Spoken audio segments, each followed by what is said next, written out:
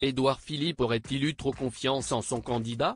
Le député sortant Horizon, Thomas Ménonier, affrontait ce dimanche 29 janvier le candidat LFI NUP, René Pilato, lors d'une législative partielle.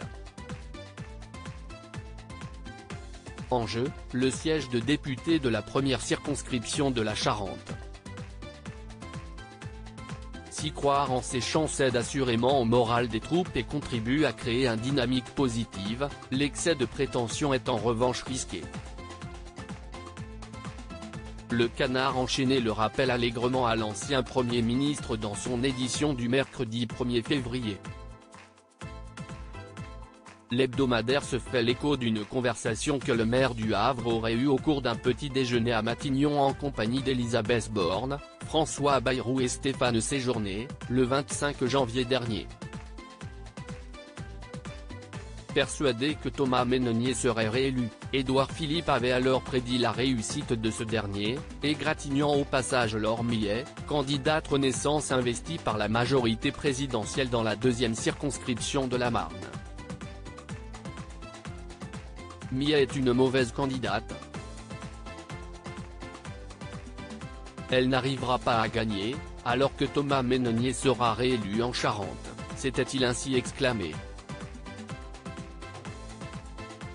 Édouard Philippe, qui sont les membres de sa galaxie Édouard Philippe avait tout faux si Édouard Philippe s'affichait si confiant, il était visiblement un peu trop puisque Thomas Ménonier a été battu. Comble de la défaite, les pronostics de l'ancien chef du gouvernement se sont avérés doublement faux puisqu'à contrario Lormy a été élu.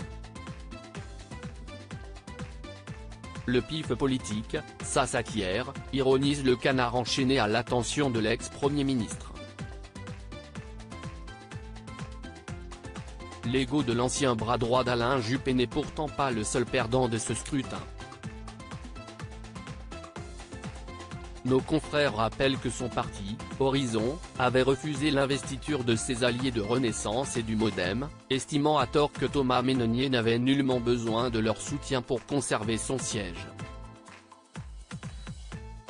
Édouard Philippe rêve de se constituer un parti alternatif à Renaissance, et non un parti complémentaire, a alors déploré Stéphane Séjourné, secrétaire général de Renaissance, dans les colonnes du Canard, y voyant une stratégie d'émancipation.